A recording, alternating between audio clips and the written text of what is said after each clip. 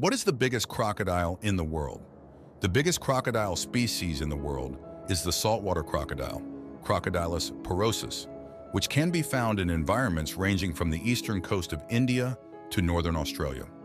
Male saltwater crocodiles are significantly larger than females and have been known to reach lengths of up to 7 meters, about 23 feet or more, although such large individuals are rare. The average size for an adult male saltwater crocodile is typically around 5 meters, 16 feet.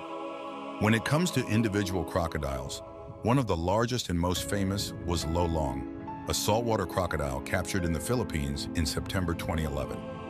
Lolong measured 6.17 meters, 20 feet 3 inches, and was considered the largest crocodile in captivity until his death in February 2013. This measurement made Lolong one of the largest crocodiles ever measured from snout to tail.